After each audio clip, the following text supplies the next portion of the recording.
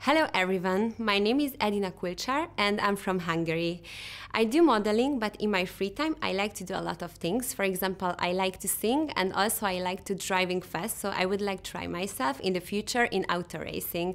For the future, I have a lot of plan, plan but the most important to learn English and also I would like to study communication.